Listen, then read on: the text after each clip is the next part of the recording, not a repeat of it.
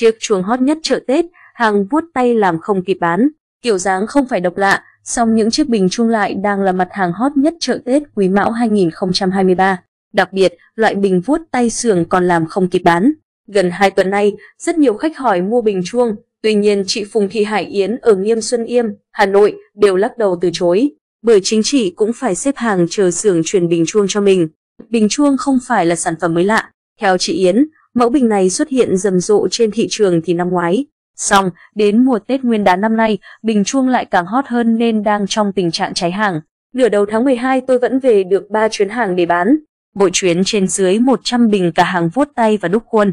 Còn từ giữa tháng 12 đến giờ, nhu cầu khách đặt nhiều nhưng xưởng làm không kịp, tôi cũng phải chờ, chị nói. Theo chị, dịp cận Tết xu hướng chơi các cành đào, mận, lê rừng cổ thụ gia tăng. Loại cành hoa lớn cần có bình, chuông đủ độ nặng để có thể giữ cân bằng khi cắm. Bình chuông dù có kiểu dáng vô cùng đơn giản nhưng ưu điểm chính là trọng lượng. Một chiếc bình chuông hàng vuốt tay cao 55cm, có thể nặng tới 20kg, bình cao 60cm nặng 25kg. Đây cũng là lý do bình chuông trở thành hàng hot mùa Tết. Chị Thanh Huyền, đầu mối bán sỉ và bán lẻ đồ gốm Bát Tràng, Hà Nội, thừa nhận bình chuông đang là mặt hàng gốm sứ đắt khách, đặc biệt là vào mùa Tết. Theo chị, xu hướng ngày càng nhiều người thích chơi những cành lê, mận rừng và đào rừng cổ thụ. Nhưng ngày trước, để cắm được những cành hoa cổ thụ này họ phải dùng chum hoặc những chiếc bình lớn mới giữ được thế cân bằng. Từ khi mẫu bình chuông xuất hiện trên thị trường, tuy dáng khá đơn giản nhưng lại hợp với không gian phòng khách của các hộ gia đình. Chưa kể, bình chuông rất nặng, tạo thế cân bằng tốt dù mọi người có cắm những cành đào, lê, mận rừng khủng. Ngoài ra, bình chuông phù hợp để cắm rất nhiều loại hoa khác nhau do kiểu dáng đơn giản, dễ ứng dụng hơn các loại bình khác. Trên thị trường hiện có hai loại bình chuông, gồm hàng vuốt tay và hàng đúc khuôn. Theo đó, giá của mỗi chiếc bình chuông cũng khác nhau tùy vào size bình và cách thức làm.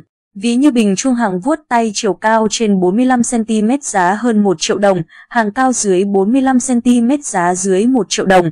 Cũng các size như vậy, nhưng nếu là hàng đúc khuôn giá rẻ chỉ bằng một nửa so với hàng vuốt tay bởi hàng đúc làm nhanh hơn. Tuy nhiên, nhược điểm bình chuông đúc trọng lượng sẽ nhẹ hơn hàng vuốt tay. Số lượng bán ra dịp này tương đối lớn. Tại xưởng của tôi cứ sản xuất ra đến đâu được mọi người lấy hết đến đó, chị Thanh Huyền nói. Hiện ngoài cửa hàng của chị chỉ còn mấy chục bình chuông, trong khi từ giờ đến Tết chỉ kịp vào được hai chuyến lò nung chuông vuốt tay. Vậy nên, nguồn cung ra thị trường cũng không có nhiều.